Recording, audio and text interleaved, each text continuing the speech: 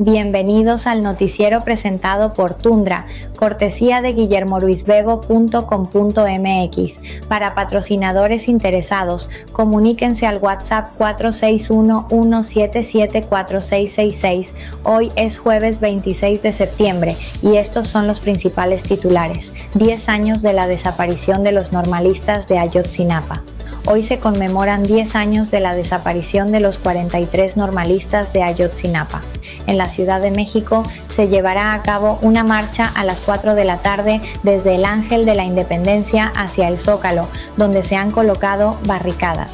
Los padres de los normalistas exigen saber la verdad sobre el paradero de sus hijos y la entrega de documentos del ejército mexicano. Ayer se proyectaron los nombres de los jóvenes en el Monumento a la Revolución.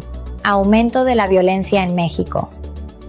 Ayer se reportaron 82 asesinatos en México, con Nuevo León liderando la lista con 14 muertes.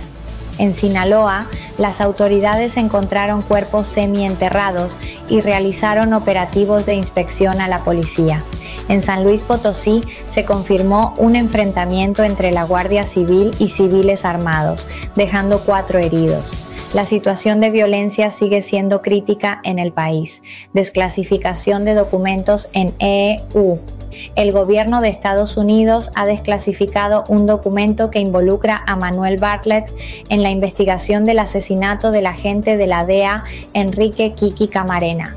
Este documento revela que desde 1986 se sospechaba de Bartlett, quien en ese entonces era secretario de Gobernación la situación plantea serias dudas sobre la implicación de funcionarios en crímenes de narcotráfico, desastres naturales y su impacto. En Guerrero continúan las lluvias intensas, lo que ha llevado a la suspensión de clases la zona de Acapulco enfrenta inundaciones severas y se han reportado saqueos en comercios.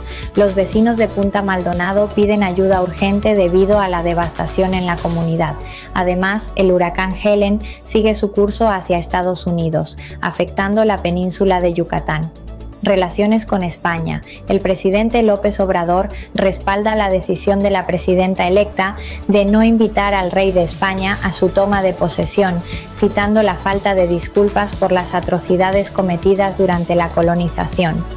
Claudia Sheinbaum aclaró que esto no implica una ruptura de relaciones con España, pero enfatizó la necesidad de respeto hacia México y sus pueblos originarios.